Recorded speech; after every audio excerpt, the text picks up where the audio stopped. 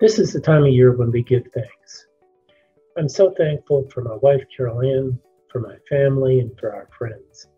I'm also really excited that we can get together again in person with students, with alumni, at sporting events.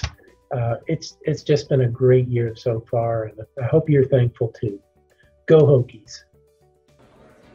Hi, my name is Donna Wertalik, and I am grateful for these amazing students that I got to teach every single day. They're the best because they are Hokies. Go Hokies! I'm also thankful to have our students back in classrooms and faculty teaching in person.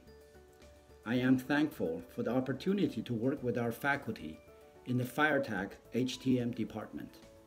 Hello, fellow Hokies! It was about 30 years ago, and I had spent all, all those years in the hospitality industry, working in the industry.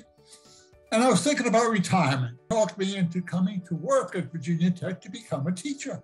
And I'm still teaching.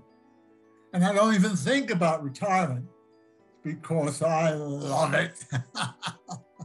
From each of us on the MBA programs team, we are so thankful for all of our students, for your positive spirit, for rejoining our classes in person, or for being a part of our inaugural online MBA program and to our wonderful faculty who share their knowledge and are true academic leaders. Go Hokies!